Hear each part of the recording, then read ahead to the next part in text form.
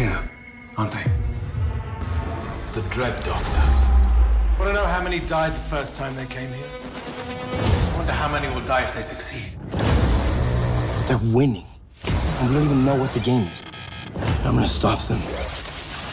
Sooner or later, physical pain is it's manageable. Real pain is emotional pain. If you want to cause devastating, soul-crushing pain,